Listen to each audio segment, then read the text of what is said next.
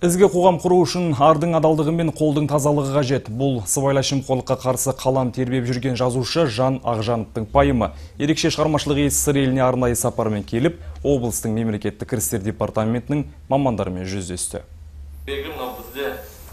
Жұртшылықты парасатты қоғам құруға үндеп жүрген жазушы сыр елінің тумасы. Сондықтан еркін форматтағы жиында ағынан жарылып адалдық жайында ойларымен бөлісті. Шыны керек бүгінде елімізде сыбайлас жемқорлық тәуекелдері бойынша ахуал алаңдатарлық. Ал осы мәселе турасында көркем шығарма жазып жүрген қаламгерлер жоқтың қасы. Жазушы Жан Ақжановтың артықшылығы да осы, яғни кез келген туындысы өмір шындығына негізделіп, қоғамдық індетті әшкерелейді. Жиында жазушы сыбайлас жемқорлық мәселелерін көтерген шығармаларын таныстырып, кітаптарының тәрбиелік мәні мол екендігін жеткізді. Сондай-ақ ол әр кітапты жазудағы қиыншылықтары мен ерекшеліктеріне тоқталып, сала мамандарымен пікір алмасты.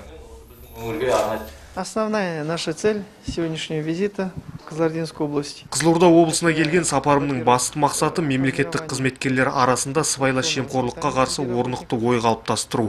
Бұл ретте көркем шығармалардың орны ерек. Мен бұл бағытта талай зерттеу жүргізіп, бірнеше шығарманы жарыққа шығардым. Сондағы түйгенім ізгі қоғам құру үшін ең бастысы рухани өре қажет. Бүгінгі жиында осы бағыттағы ойларымды ортаға салып, департамент мамандарымен еркін пікір алмастық. рухани жаңғыруды біз әр азамат өзінен бастау керек яғни рухани жаңғыру дегеніміз бұл біріншіден әділдік адалдық жан тазалығы және де мынау көптеген қазір көтеріліп жатқан мәселен бұл бұл тұрмыстық сыбайластықты қою таныс арқылы жаңағыдай кез келген мәселені шешуге тыйым салу.